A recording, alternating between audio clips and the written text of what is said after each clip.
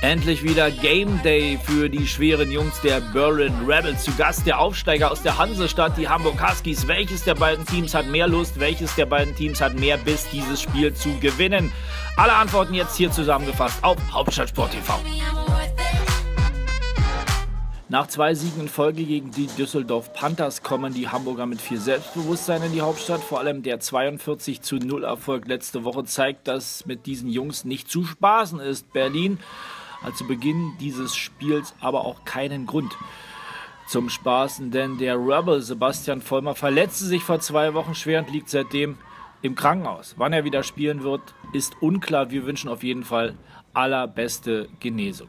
Damit aber wieder zum Sportlichen. Die Hamburger in Rot-Weiß zunächst von links nach rechts und mit dem ersten erfolgreichen Pass Reggie Langford findet Dominik Hanselmann zugegeben, das noch nicht wirklich beeindruckend. Aber der nächste Spielzug, der ist es schon. Diesmal entscheidet sich Quarterback Langford für das Laufspiel und Kollege Tyson Gissab, der kann von keinem Berliner gestoppt werden. Touchdown 6 zu 0 aus Gästesicht die Rebels also frühzeitig im Rückstand. Doch die Berliner haben sich im Vergleich zur letzten Saison stark verbessert und vor allem ist er wieder dabei. Darius Outlaw.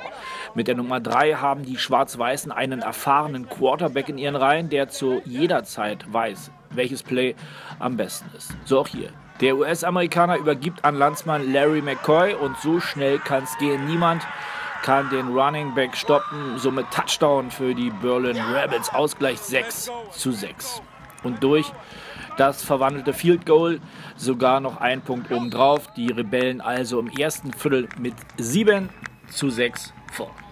Ja, und wenn das so gut klappt mit dem Schießen, dann legt man doch gleich noch einen drauf, einen nach. Die Berliner jetzt von rechts nach links mit dem erneuten Field Goal Versuch. Diesmal wieder erfolgreich und aus dem Spiel heraus sogar direkt drei Punkte wert. Die Führung also 10 zu 6. Hamburg aber unbeeindruckt. Zu keiner Zeit wirkt das Spiel hektisch oder unorganisiert. Vielmehr wird sich mit typisch nordischer Gelassenheit Play für Play, also Spielzug um Spielzug, an die Endzone der Berliner herangetastet, um dann zu punkten.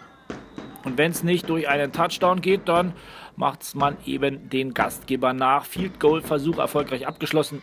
10 zu 9 für die Rebels nur noch. Und als Beweis für gute Zielgenauigkeit aller Protagonisten noch ein obendrauf. Nassim Amrum mit dem nächsten Treffer, das gleichzeitig auch der Halbzeitstand von 10 zu 12. Durchgang 2, dann weiterhin ein sehr hartes Game, in dem sich zwei gut aufeinander eingestellte Teams gegenüberstehen, mit leichten Vorteilen zur Mitte des dritten Viertels für die rot-weißen Hamburger. Die Hanseaten wie in Halbzeit 1 sehr geduldig und dann auf den Punkt voll da. Schöner Pass auf die Nummer 85, Nassim Amrum mit dem Touchdown zum 18 zu 10 aus Gästesicht mit verwandeltem Field Goal sogar 19 zu 10 für die Hamburg Huskies. Das gegen den Gastgebern wohl zu schnell. Die Berliner also jetzt gefragt, will das Team aus der Hauptstadt nicht wie im Season Opener wieder als Verlierer vom Platz gehen, muss jetzt etwas passieren. Und das tut es auch. Der US-Boy Outlaw, wie bereits angesprochen, mit dem nötigen Gespür. Und diesmal ist es Gregor Lietzau, der mustergültig bedient wird. Die Rebellen mit dem anschließenden Field Goal also wieder dran. Nur